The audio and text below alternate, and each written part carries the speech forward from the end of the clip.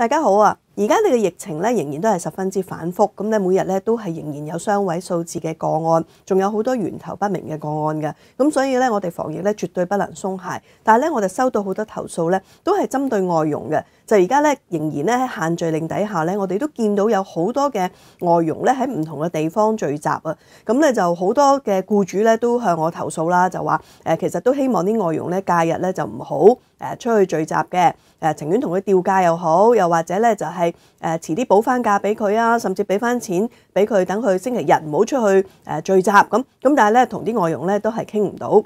即係誒結果嘅咁。咁咧就好希望咧政府咧就揾方法咧係去禁止外佣假日聚集啦，同埋咧就係誒大家都擔心呢啲外佣宿舍嘅問題，因為咧事實都有啲外佣咧。